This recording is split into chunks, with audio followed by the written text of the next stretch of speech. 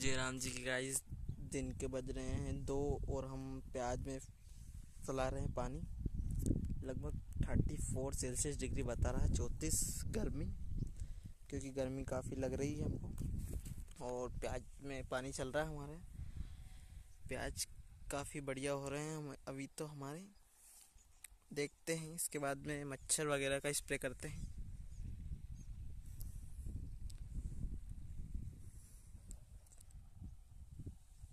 आधी प्याज फिर चुकी है, आधी बची हुई है। लाइक कमेंट शेयर करें जयराम जी की।